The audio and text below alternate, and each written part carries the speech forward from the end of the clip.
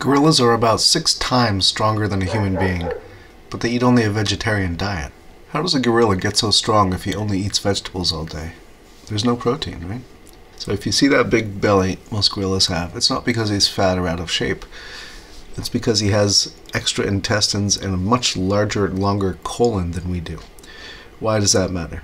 That matters because in that colon and in those intestines, there are bacteria that can break down the cellulose in the vegetation that he eats. So he can eat a high fiber diet, and instead of staying regular, he builds muscle.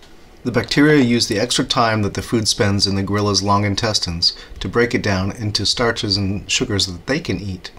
So they eat the sugars, turn it into protein in their own bacterial bodies, and then the gorilla absorbs the proteins from the bacteria directly. gorilla doesn't even have to work out to get all that muscle. What it does require is a specialized digestive tract. And if you think about it, horses and cows are vegetarians too, and full of muscle, especially if you've ever been to a PBR bull riding event and seen those monsters. But like horses and cows, gorillas have to spend almost their whole day eating.